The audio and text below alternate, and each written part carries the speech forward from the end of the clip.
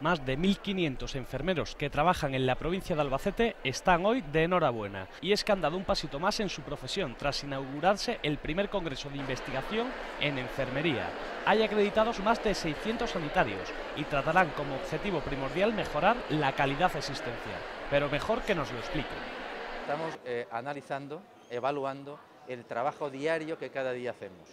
Eso lo pasamos, eh, lo pasamos a limpio y al cabo de, del año hacemos una, un, un, análisis eh, crítico para saber cómo se puede hacer mejor.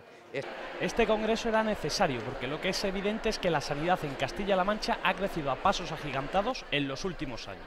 La Mancha es una de las regiones que tiene un sistema sanitario más potente y de mejor calidad de nuestro país.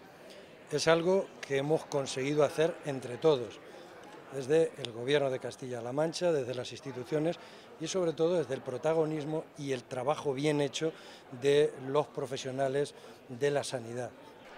Pero no solo han sido felicitados todos los sanitarios de la provincia al comenzar el Congreso, y es que también estaba hoy feliz la séptima mejor alcaldesa de las 81 provincias existentes en España que trabajar por la ciudad que quiero desde la mañana a la noche y además hacerlo de forma dialogada, desde el diálogo, desde el trabajo en conjunto y también agradecerles ¿no? a los vecinos y vecinas que con ese trabajo conjunto pues hagan posible que Albacete esté en el número 8, como comentaba ahora, entre las ciudades donde mejor calidad de vida tenemos. Por tanto, pues con mucho agradecimiento, con desde luego pues que me sirve como un impulso para seguir trabajando por esta ciudad.